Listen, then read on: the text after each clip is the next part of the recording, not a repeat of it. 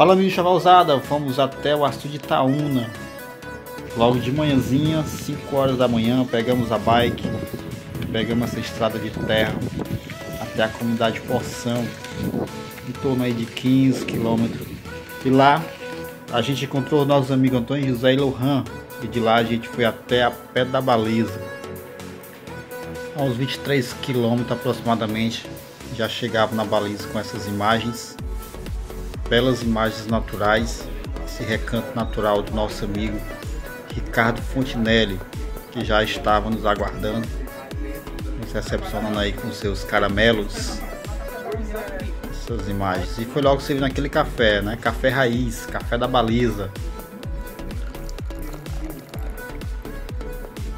E aí, depois do café, quando a gente saiu para ver as imagens, olha só que a gente encontrou neblina e aí fez registros dessas neblinas. Mas era preciso sair, era preciso ir até o Itaúna, sul de Itaúna. Então o Ricardo já arrumou a sua bicicleta. A gente se despediu da baliza. E pegamos a estrada. Saindo agora da pedra da baliza. Nosso grupo aumentou, ó. Ricardo ali na frente, nosso, nosso guia agora. A gente vai saindo aqui da baliza indo em direção ao açude de Itaúna. E o tempo tá fechado, tempo de chuva gente vai pegar uma chuvinha na estrada.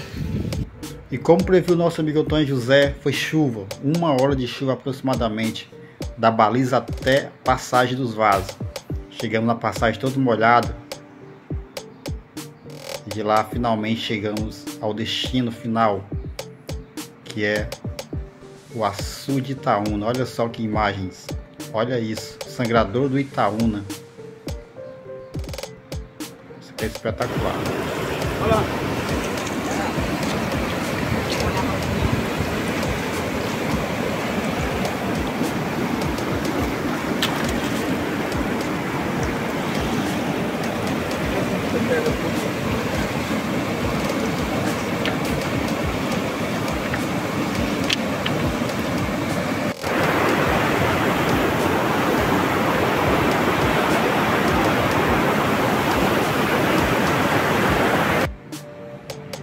água mesmo, olha que maravilha.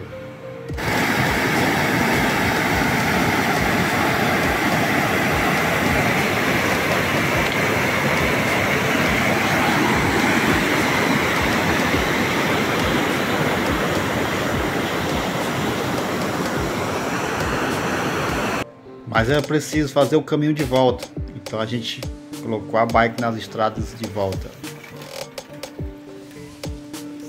vai pra vereda, a direita não pra baliza. Chegamos na baliza novamente, chuva. Isso atrasou um pouco a gente, a nossa retornada. E finalmente, depois da chuva, 73 km depois, estávamos de volta à cidade de Chaval, Ceará. Valeu, obrigado. Valeu, até a próxima.